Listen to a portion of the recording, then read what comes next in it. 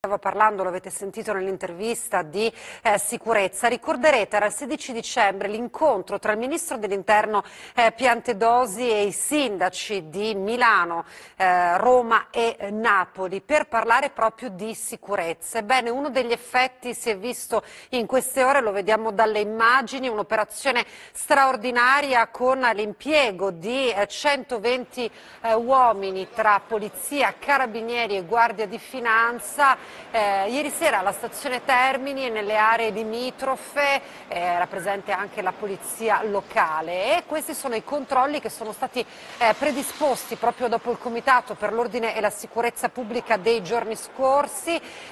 controlli che proseguiranno poi ovviamente anche eh, in queste giornate, un'operazione che è avvenuta nell'ambito dei servizi straordinari di prevenzione e contrasto alla criminalità proprio a Roma, Milano e a Napoli definiti nella riunione che vi dicevo del 16 dicembre scorso. Eh, I servizi interessano le principali stazioni delle città per poi essere eh, estesi in altre zone a rischio illegalità.